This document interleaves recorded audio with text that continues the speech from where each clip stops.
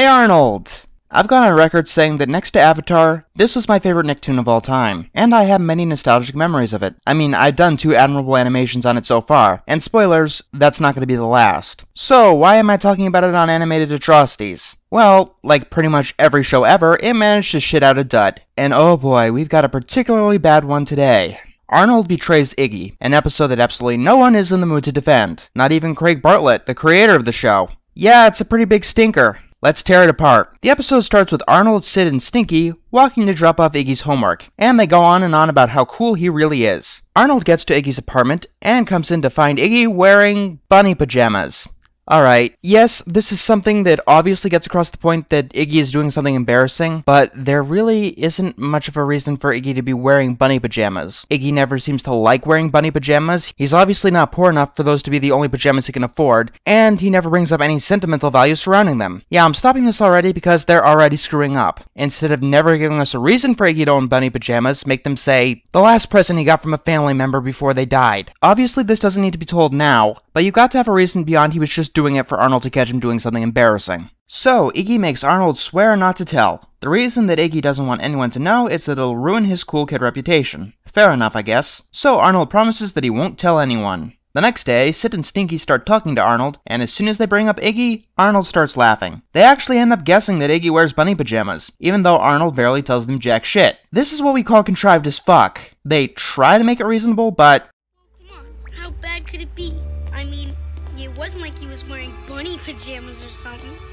That came literally out of nowhere, but the desire to keep the plot moving. Even though Arnold assures them that this isn't the case, they don't believe him. Yes, and instead they believe something that they barely guessed at. And of course, these two decide that they're going to tell the entire school, which they do. This turns Iggy into a laughingstock. Stinky even says that Arnold told them all about it, which is obviously a lie. And for some convoluted reason, Arnold actually decides to own up to it, despite the fact that these guys only guessed. Because Arnold didn't actually spill the beans, the story is horribly contrived. Something like this was done much better in Helga Blabs It All, because Helga was under the influence of laughing gas before she let out her own secret. But most importantly, with the way the story is told, Arnold is not actually the guilty party. Sid and Stinky are the ones who pried, they're the ones who spread the rumor, and thus they're the ones at fault. Arnold, of course, being Arnold, tries to apologize to Iggy. Now here's another missed opportunity. Have Iggy not forgive Arnold because the other kids continue to tease him at that very moment. If you don't do that, Iggy kinda looks like an asshole, only dealing with the problems in his own head. I mean, Arnold talks to his grandfather about it, and he laughs, but not directly at Iggy. Arnold's grandfather tells him to explain directly what happened, and if that doesn't work, then buy his affection with presents and favors.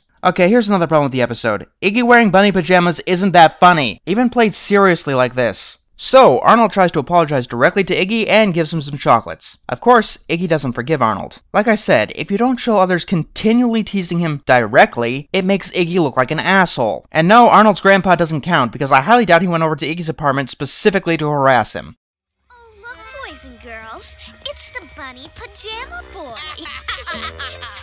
That's not enough, especially because Iggy didn't even really seem to notice it was going on until they passed by. Alright, maybe he has the right to act like an ass this long, but not for the months that this episode immediately implies. I mean, what the hell happened? You were getting back on track, and you fucking blew it. Why do you want Iggy to look like an asshole? That is a serious question. I legitimately don't know. If I'd have to guess, it's that you're going for a you should forgive or you look like an asshole moral, but at no point do they imply that. Or that Iggy is even in the wrong for giving Arnold the cold shoulder for this long. So Arnold decides to do Iggy's chores for a whole week. After which, Iggy still doesn't forgive Arnold. Yes, months after this embarrassing incident was forgotten about, Iggy extorted Arnold for chores, and the episode actually puts him in the right for it. So, Arnold demands upfront what he has to do to be let off the hook. The answer is for Arnold to wear a bunny suit in public. So the red carpet is rolled out, and, well, Iggy's reputation couldn't have been burned that badly if he was able to get the fucking news out there.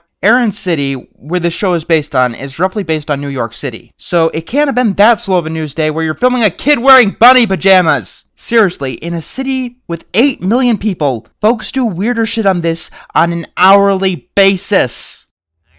I want you to know that when you go down there, it's going to be all I can bear to watch. And take pictures for the album. Okay, um, writers, you do know that Arnold's grandpa actually cares for him, like, a lot, right? And once again, wearing a bunny suit isn't that funny! Besides, it's an old joke at this point. Oh, and finally, Sid and Stinky reveal what they did. Alright, a couple of things. This is what pulls Iggy into the wrong. Not extorting Arnold, not failing to forgive him, not making him humiliate himself. It's getting the wrong guy. And speaking of which, Sid and Stinky are the people who are realistically in the wrong here, get no consequences for what they did. I seriously have no idea what the writers are trying to tell me here. The narrative is just that confused. Also, Sid and Stinky are taking pictures. They're still not seen as the bad guy. Iggy is. It's just Iggy. Iggy tries to stop Arnold, but it's too late. He gets squirted at, gets caught by the New York news program, all for desperately wanting some forgiveness. Now, Iggy wants some forgiveness, but Arnold doesn't give it to him. And he never did. This episode went over so badly that Iggy never appeared in any other episode. But if we're following who's really to blame, Sid and Stinky should have never appeared again after this episode because it's their fault that this happened. They got absolutely no consequences, and the story doesn't even consider them being in the blame. Bottom line, you want this plot done right, you should actually check out Phoebe's Little Problem, which deals with humiliation in a much more tactful manner. So, what are we doing next time? Perhaps something a little bit lighter.